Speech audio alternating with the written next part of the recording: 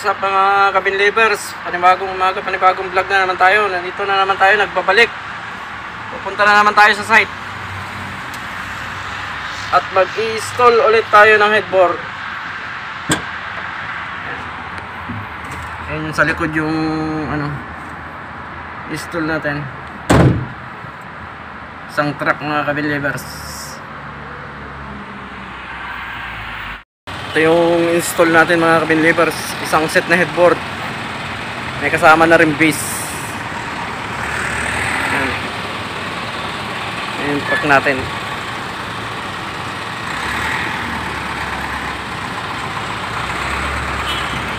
May mga steel din yan mga kabinlivers. Tapos may design marble doon sa tabi ng headboard. Ito yung base niya patungan ng mga patungan ng mattress mga kabinlivers. Ito yung materyales na gagamitin natin sa headboard.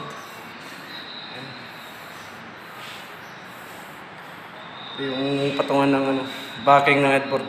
At dito natin ikakabit mga kabinlivers.